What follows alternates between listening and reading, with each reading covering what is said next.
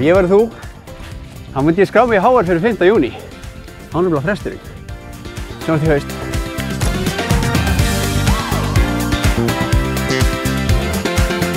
Þess skal getið að nótkun á hvers konar faratækjum og þar með töljum rafskútum innan vekkja háskólan sé Reykjavík er stránglega bönnuð og er áður.